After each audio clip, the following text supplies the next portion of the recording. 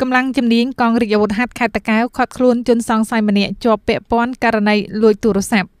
យោងតាមរបាយការណ៍របស់ការិយាល័យកងរាជអាវុធហត្ថខេត្តតាកែវបានឲ្យដឹងថានៅវេលាម៉ោង16:20នាទីថ្ងៃទី16ខែសីហាឆ្នាំ